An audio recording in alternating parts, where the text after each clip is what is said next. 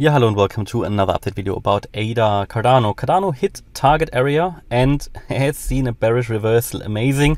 In the previous video, I think we were down here somewhere and um, based on the Elliott wave count, I suggested we'll probably go a little bit higher, which we did, yeah. Um, and I gave you this yellow target area for the wave 2. And the wave 2 target area was located here between 50.2, 50.3 cents and 52 cents. Yeah? And we, if I zoom in, you can see that we touched it yeah, with two candles and then we saw a bearish reaction. And this is now the moment where we're going to see the decision if wave 2 is finished and if we're already entering wave 3. Because we talked in that video about the potential that obviously after wave 3 in purple was finished, wave 4 in purple was probably finished.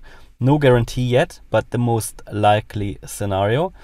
Then we moved down already here, and that is currently what my view is, in wave 5 in purple. Wave 5 in purple also subdivides into 5 further waves because it is an impulsive wave, okay? And therefore we could already count wave 1 down here, wave 2 up, and again, it reached target area for wave 2, all based on Fibonacci retracements, and we could now be in wave 3 down. Now there is no guarantee we are already here in wave 3. Wave 3 is normally the most impulsive, the strongest waves, and if we see a break below the swing low at 46.7 cents, then it is quite certain that we'll get down in wave 3. And we can also in a minute calculate the target for wave 3. Um, there is currently no guarantee wave 2 is finished, so without a problem, as long as we stay above 46.7 cents, it is good and likely uh, or possible at least, that we go back into the target range here in yellow, that wave 2 just isn't finished yet. But the fact that we already moved below that previous swing low here, you can see that actually, um, we moved below that swing low here at 48.1 cents, which is there actually, um, we, but we, we, we broke below it already briefly, indicates that the likelihood increases that we actually go down from here, because we broke it already. Um, and also we reached obviously one of the ideal target areas for a wave 2. So chances aren't bad that we move down, but if we move down, it needs to be a strong move because it would be a wave 3. Yeah? So what would be the target for the wave 3? We can calculate that as well. So we'll take the Fibonacci extension tool and we're looking for the 1.618 Fibonacci extension level of um, wave 1 and wave 1 finished here. Not at the absolute low I don't think so.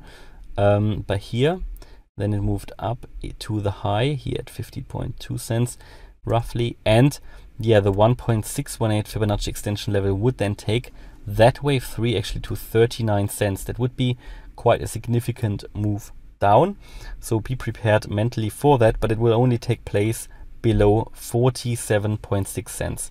So if we go below that I would think it is very likely that we go down first, first though, to the wave 3 low here from the um, 12th of June, 30th, 13th of June, 43.9, yeah, so 47.6 first, then 43.9, and then I think the 39 cent level would be the next target. So if we don't make a lower low, then we can assume that we might touch the wave 2 target area once more. Um, but um, we've already seen quite a strong reaction down. So it remains interesting. Yeah. So wave two um, could be complete. Yeah. Um, as long as we are not below 46.7 cents, though, we have to assume we might touch it again and we get into that area again. But um, so clear signal, clear signal here, yeah, for a further sell-off would be 46.7 cents. So that is what I'd be waiting for. Um, it could be a short trade, you know, and I'm not telling you to do it, just telling you what a possible trade setup might be. Um, if that level gets broken, high likelihood we move lower. Um, if we go above the previous swing high here at 40, 50.2 cents, it wouldn't be bullish. It would just mean that we get into this wave 2 area once more, yeah? And really only, and only only above that purple wave 4, if we significantly go above that level here at 54.6 uh, cents, then we can talk about something more bullish. But I told you in the previous videos, likelihood really is quite high that this is only a bearish flag and that we will go down from here further in a wave 5 in purple. and then finish the overall correction currently looking like in the area of the low 30 cent range. Could ADA already have completed the correction? Yes, it has come down low enough. It has come down into my larger yellow target area that I defined many months ago. So between 30 or 29 and 54 cents. So we did come into that area.